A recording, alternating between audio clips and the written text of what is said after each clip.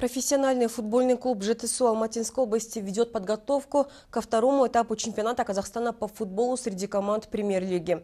Напомним, по результатам первого круга наша команда занимает 11 место в турнирной таблице чемпионата.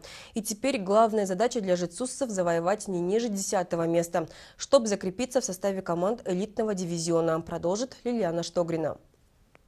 Учебно-тренировочный сбор проходит на центральном стадионе областного центра. Игроки профессионального футбольного клуба ЖТСО оттачивают технику владения мячом и совершенствуют свою физическую подготовку перед вторым этапом республиканского первенства. И пусть их комбинации сегодня, возможно, выглядят недоработанными, они все же с каждой тренировкой становятся все более разнообразными и опасными для соперников.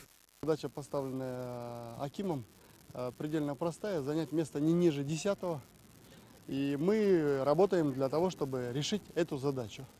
Э, думаю, что мы с ней справимся. У нас для этого есть все силы, средства, ресурсы, люди, чтобы справиться с этой задачей. Позади нелегкие игры первой половины чемпионата, в которых нашей команде нужно было бороться за место под солнцем в элитном футбольном дивизионе. А для того, чтобы уйти из опасной зоны вылета, которая является последнее место в турнирной таблице, нашим футболистам пришлось прикладывать немало усилий. Атмосфера в команде, скажу так, наладилась очень хорошо, потому что последние игр 7. Мы на приличном уровне сыграли. Выиграли матчи, тяжелые матчи. У лидеров, вы, вы, как бы сказать, отобрали очки.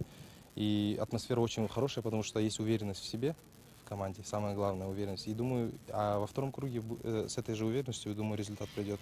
Во втором этапе чемпионата наша команда будет выступать в значительно обновленном составе. По итогам трансферной кампании в нее влились такие известные футболисты казахстанской и российской премьер-лиги, как Евгений Горячев, Руслан Галиакберов, Эльбий Гулиев, Михаил Петролай, Алексей Герасимов и Ильсур Самигулин. Команда пополнилась также молодыми местными игроками. В клубе остались и опытные старожилы. У каждого из них свое место, роль и функции. Объединенные в единое целое, в один крепкий, организованный и боеспособный коллектив, игроки нацелены на выполнение поставленной перед ними задачи. Я думаю, надо выкладываться как на тренировках, так и на играх и быть единой командой, играть вместе, поддерживать друг друга. Я думаю, все получится.